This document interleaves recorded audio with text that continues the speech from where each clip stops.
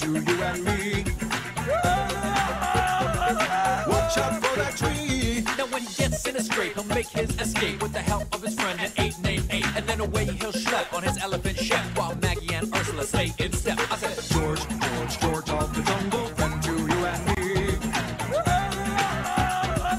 Watch out for that tree.